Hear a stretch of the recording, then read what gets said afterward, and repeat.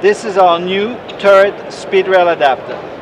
It can be used on each corner of either the Constellation or the level 5 or it can be used on each corner on one side and then on the center in a tripod mode. It is extremely easy to use. You just release the latch, open, take your speed rail out and in. You just secure the latch and able to withstand significant loads.